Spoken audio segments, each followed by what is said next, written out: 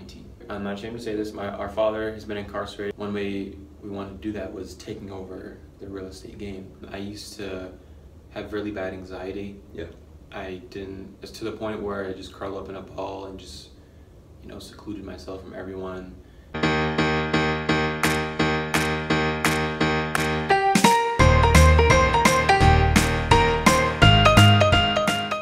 Hey there, so I'm pretty excited. I'm on my way to go meet Ty, uh, Ty Hampton, uh, YouTube channel Ty Speaks. We're meeting at probably one of the most underutilized places in America that exists in every town, which is a library. 2% of people own library cards. It's a wealth of information that so many people just don't take advantage of, but it's totally looking forward to seeing him.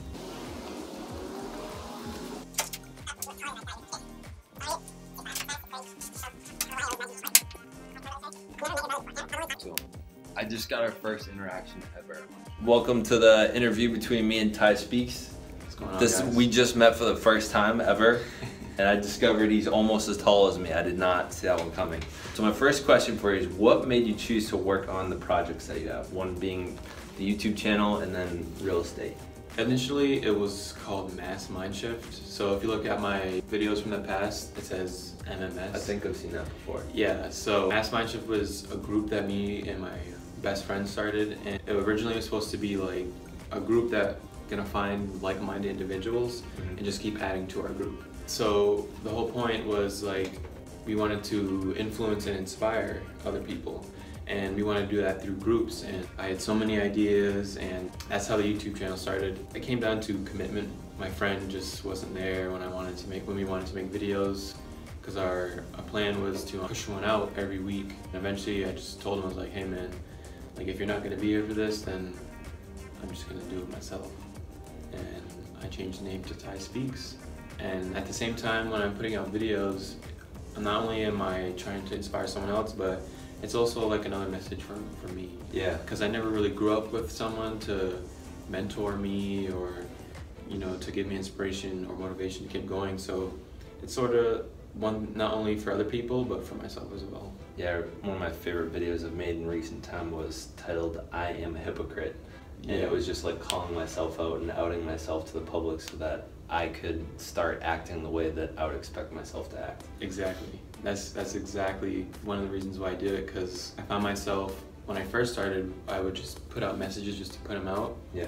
and then like you said, like I'm a I'm a hypocrite. Like, how am I gonna share a message with someone if I can't even take my own advice? Yeah. That's where it came into play. Where not only am I making these uh, messages and videos for other people, but I'm making it for myself too.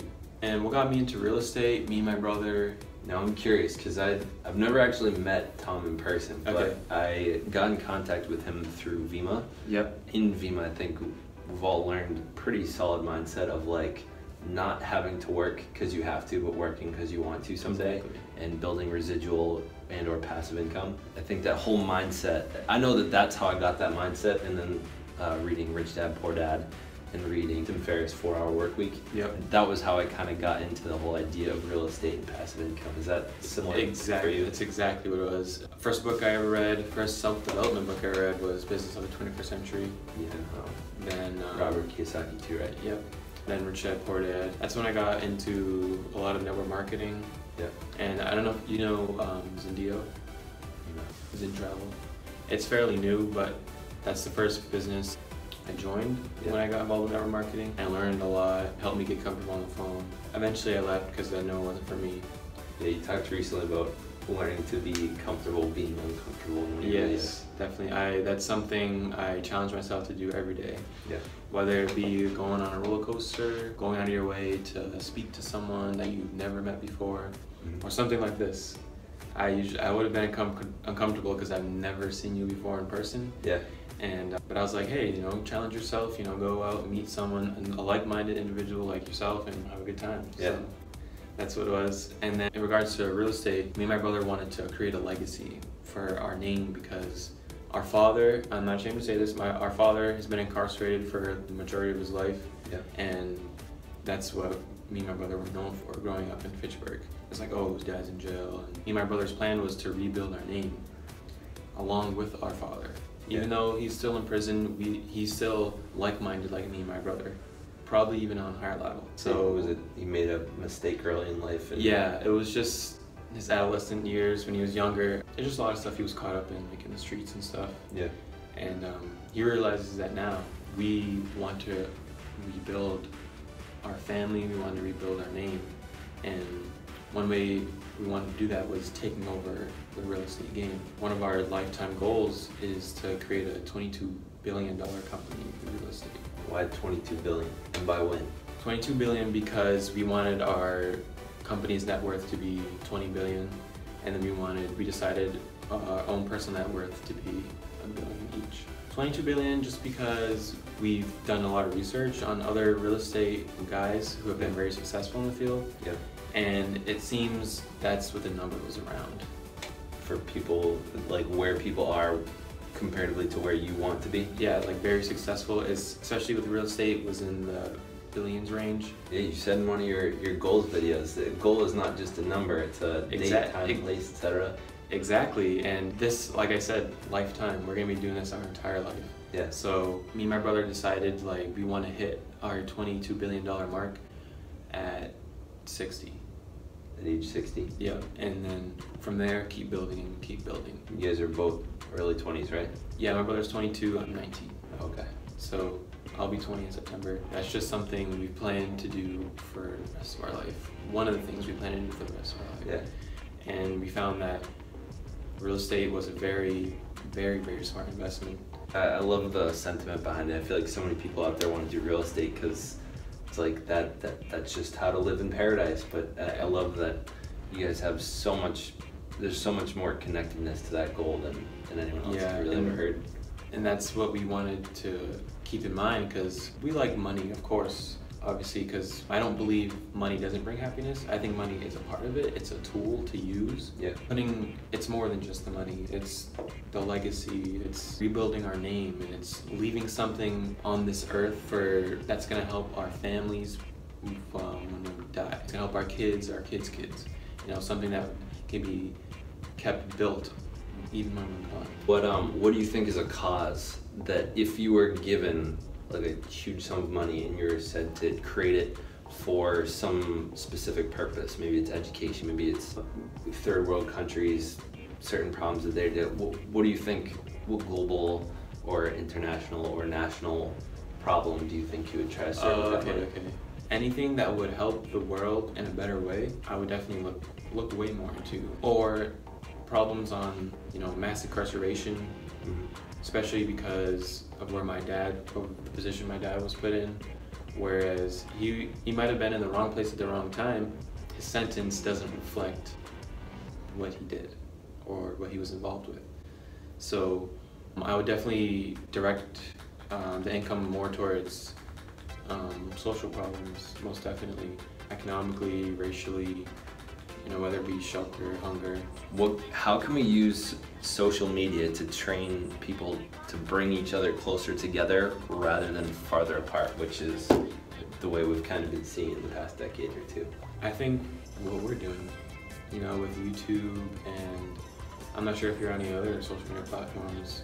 What we're doing could be considered directing social media more towards um, like a positive way, because what I've been noticing in my like my personal life is a lot more people are drifting more towards you know the positive mindset and wanting to change their lives and living the lives they want to live instead of the lives that other people want them to live. Yeah. So, I mean, I think that's probably just because I'm an optimist, but I think the way social media is going, I think it's getting better.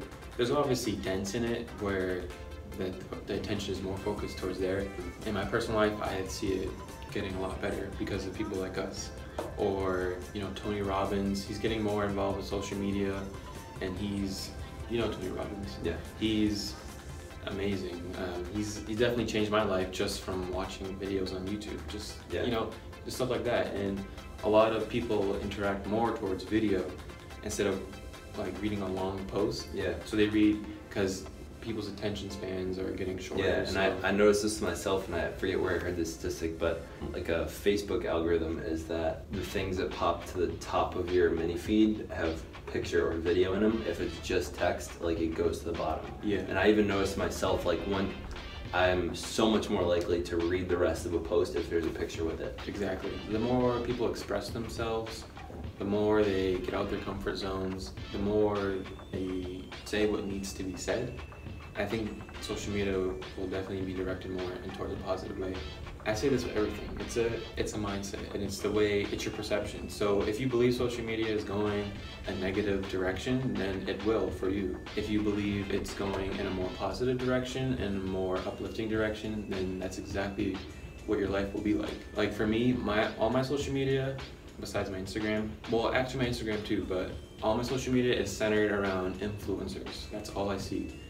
I'll see like a, a nice little funny video here and there, but, that's because that's what I allow on Yeah. social media. Yeah. So And they'll keep feeding you more of whatever you, it is that you consume. Exactly, and all I get is influencers, uh, people like us from you know the Boston area, people around my area, wherever it might be, or more people who are more uh, well known, like uh, Tai Lopez, Grant Yeah. Cardone. Yeah. Do you know who Ralph Smart is? No. Um, he's more involved on YouTube, but he's very spiritual, laid back. He's a vegan. People like that is what I try to surround myself around. You know how they say the the top five people you're surrounded around reflects You're the average of, yeah.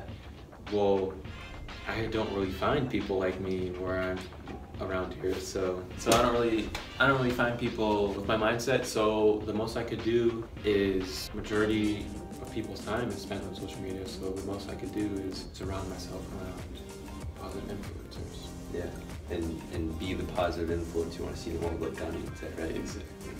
Be the great YouTuber that you want to look for. Yeah, if I play basketball. I just had yeah, I just had this huge impulse to ask you if you play basketball.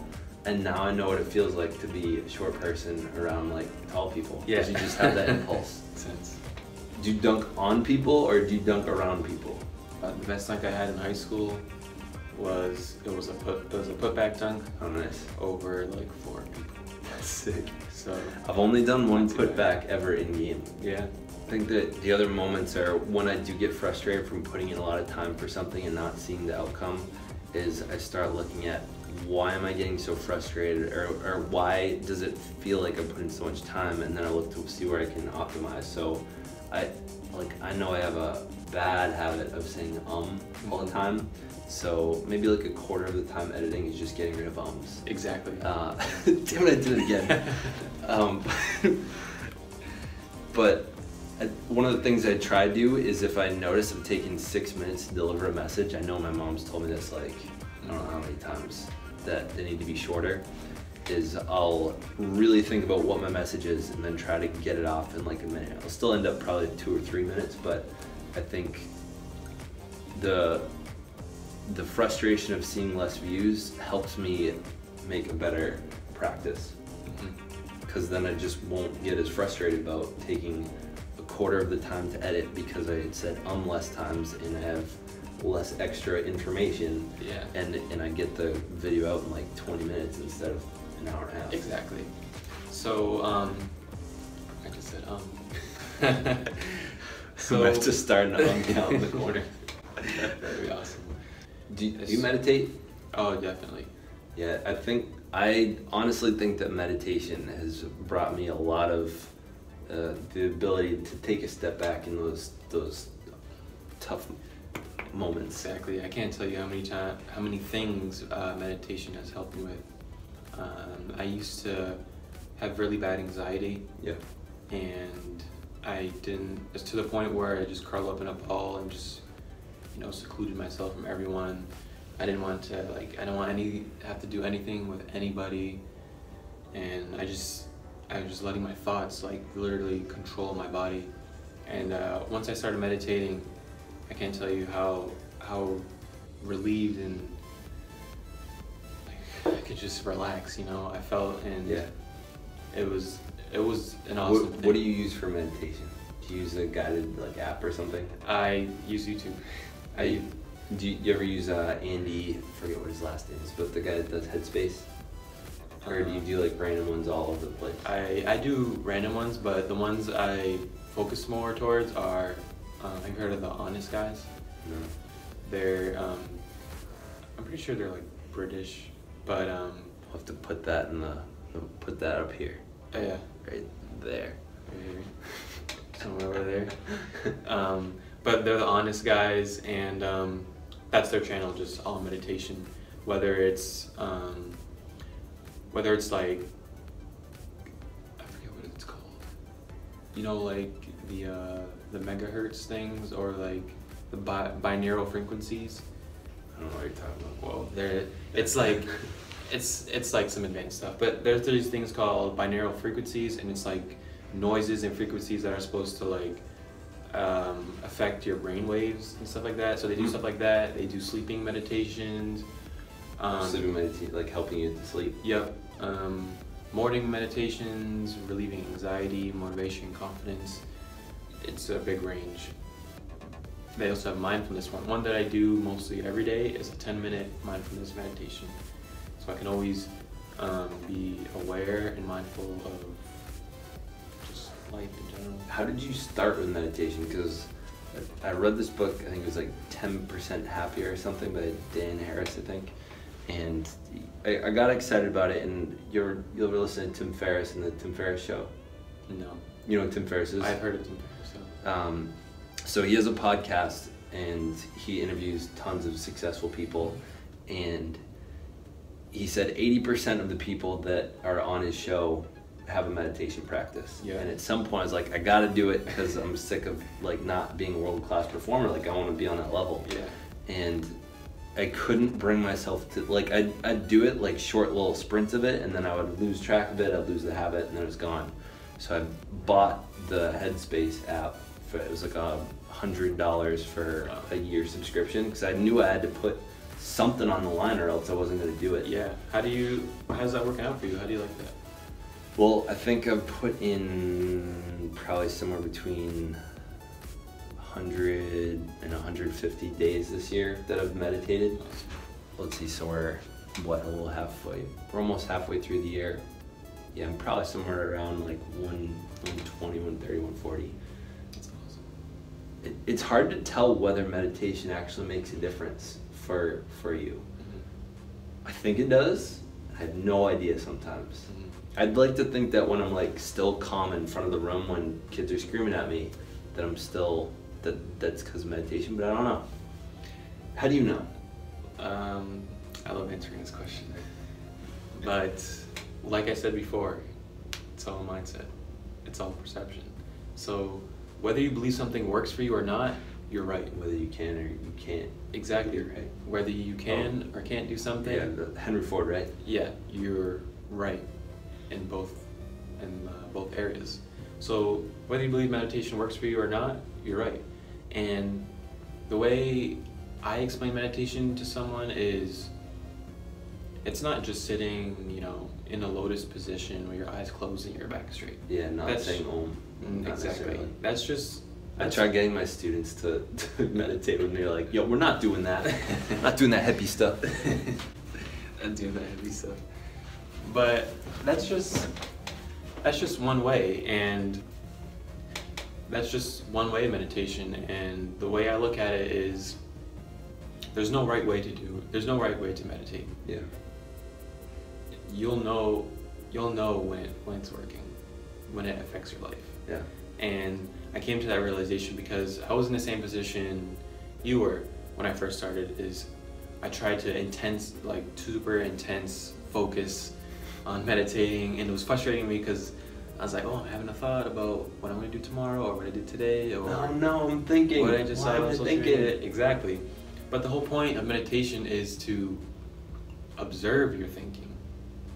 It's to allow your thoughts, but not to not at, let it cloud your judgment or your, your awareness. Yeah. So when your thoughts come, it's you just accept it for what it is. Observe your thoughts.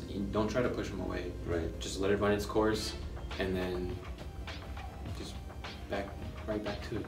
One thing that a lot of people say is focus on your breathing. Yeah. So when you have your thought and it runs its course and you're aware and you're observing your thought, come back to your breath and you'll be back in the meditative state. So it's just one major thing I could say is don't judge yourself meditating. Don't think there's one right way to do it because there isn't. Be in the moment. Let your thoughts run its course and don't let that determine who you are because your thoughts aren't you. I know that was that was one of my favorite discoveries. I, you ever heard of the Landmark Forum? Never. I did the Landmark Forum, and that was that was one of the concepts sort of that they get through to you is that you are not your thoughts. You're like the space that thoughts occur inside of. Exactly. And something I've come to realize is I control my thoughts, they don't control me. And that's one thing I learned through uh, mindfulness meditation is that any any negative or positive thought that is coming in my in and out of my life is because I'm allowing it to. So that's kind of a hard concept to grasp, Mm-hmm. but it takes practice and hard work, patience, hard work. Yeah. That's with anything, patience and hard work. So I think in regards to meditating, it's definitely definitely changed my life. And I think as you as your practice continues, it'll you'll definitely see it change your life. Yeah. How how long have you been doing it for? A couple years. Probably two and a half maybe. Nice. I mean I've I've messed around with it, Yeah. But um, recently I've just recently probably since last year it's become a more consistent thing where I do every morning. And I've worked my way up to like 30 minutes Yeah. straight. And then there are there are some days where I, I just won't I'll stop and then I won't do it for a while. So I have to work my way back into it with 10, Yeah. with 10 minutes. And the way I look at it is even if you do miss a day that's part of the meditation. Don't judge yourself. It's okay that's the way I look at it is Yeah. like you shouldn't feel obligated to do anything unless you want to do it so if you miss a day all right cool I'll just do it later today before I go to sleep or I'll do it in the morning Yeah. it's not that big of a deal.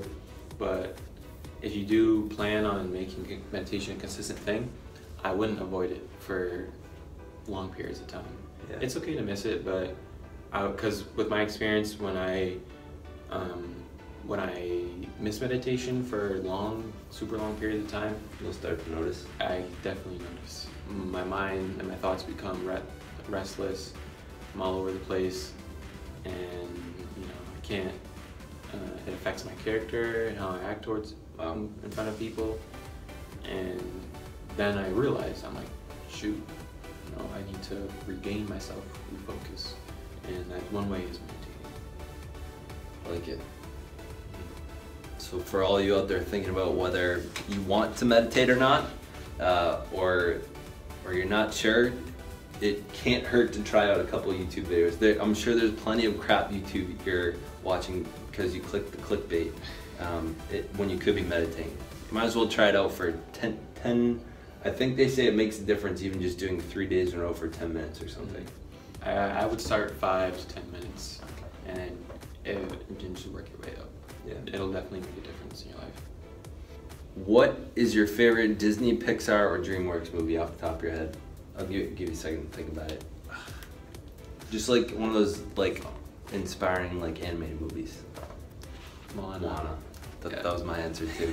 That's really good. I love I singing one. My I love the song "You're Welcome," but the video that um, I forget the singer's name, but him and Lin Manuel Miranda. Mhm. I love rapping that part. Moana, was definitely the um, a standout film that I enjoyed. Yeah, fantastic. Let's see. What advice would you give to your middle school self? To my middle school self, To all my in, this can be to my incoming eighth graders or my or the students that are going to be freshmen next year. wow. Um, Since it was six about six years ago for you. I would say be yourself. Find friends who reflect who you are because it's more than likely they'll be your friends throughout high school if you guys go to the same high school. Pay attention. Pay attention in school because I know it gets it gets boring sometimes, especially if you're going for a long time. Um, uh, issue I had was definitely paying attention. Um, what kind of student were you? I was a quiet. I was a quiet kid. I read a lot. Younger, when I was younger, I was told I had ADD and ADHD. So the medication my mom put me on definitely affected my character. And then um, eventually I was taken off it because it gave me all sorts of issues. I was a, I was a quiet kid. I read a lot. I was very socially, I wasn't socially awkward. I just wasn't comfortable. You're like A, B, C student, D, Um, D student. I was B, C, D student. Yeah. Um, school just just came hard to me. When school gets tough, don't ever give up because it's if you give up now, especially in school, it's going to affect you later in life. And I know especially middle school students and high school students, they think that this is their whole life. Like their middle school, high school years, they Yeah. this that's all their life is. But Yeah, I remember there's feeling that way. there's way there's way more to it Yeah. your life you have so much more like when you graduate high school you'll be 17 18 years old let that render think how much life you had for 17 18 years just think about what another 17 18 years are going to bring Yeah. so i would say enjoy your time in school don't Yeah, well, you don't have a ton of responsibilities yet. exactly exactly because in you still live with your parents you know they provide for you um, you don't really have much things to pay for. Especially like bills and stuff you don't have a job right now. Or unless you're going into high school looking for a job freshman sophomore year. But one thing i would say is you know enjoy your time in school. Don't take it for granted because you're gonna miss it. I definitely there are a lot of things i wish i could have done in high school and middle school. Uh, there's lot of people i wish i could have spoke to reached out to, to uh, towards to make more friends. Um, don't be afraid of being uncomfortable because the only way that you're gonna grow is if you get out of your comfort zone. The way i look at it is this is your comfort zone this little this little hole right here is your comfort zone. And then everything outside this hole is just potential the world everything you have yet to experience where the magic happens, right? Exactly. So once you step out of here, it's just it gets better from there. I'm pumped that I got to meet this guy today. I'm looking. I'm thinking we're gonna have to do a dunk competition video to put on uh, my other for fun channel. Um, ah, damn another. Um, uh, I'll put I'll put a bunch of stuff in the comments. I'm probably gonna have to edit this down because it's like a 40, 50 something minute thing. Um, but I'm gonna try to get it under 10 minutes or so. So we're gonna, I'm gonna cut out probably a lot of stuff, but I'll keep the good stuff in. Um, but yeah, I'll put plenty of things in the comments. I'll put cards for that you. This is at the end, so you've already seen the cards. Um, but yeah, you can count on that. And right up here, you can subscribe to Ty Speaks I upload every three days. every three days, so you can count on him every three days. Right now, I'm doing uh, the Think Share every day. And during the summer, I'm setting my goals for the day at the beginning, and then the next day, I tell you how I did on those. Yeah, if you liked it, give it a like. If you want more, subscribe. Hey guys, stay weird. Get it?